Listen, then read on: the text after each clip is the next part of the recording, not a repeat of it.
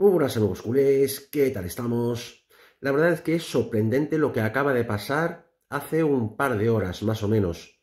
Javier Tebas, el presidente de la liga, en una entrevista a un famoso diario nacional, pues habló del Barcelona, ha defendido al Barcelona, dijo que, que está seguro que el Barça no ha comprado los árbitros, sino simplemente tiene que dar explicaciones de esos pagos a Negreira, aparte de otras cosas, pero ha soltado el bombazo del día Palabras textuales de Tebas, quiero que el Barça fiche a Messi y voy a hacer todo para que esto sea así. Es más, si el Barça ficha a Messi en verano, va a venir bien, no solamente al Barça, sino también a la Liga Española. Pero esto no es todo, el verdadero bombazo es el que viene ahora mismo.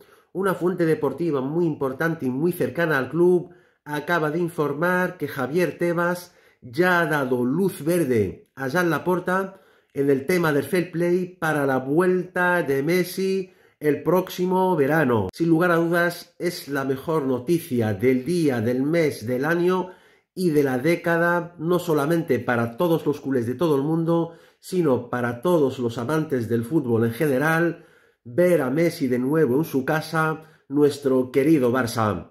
Esta ha sido mi gran noticia de hoy, amigos culés.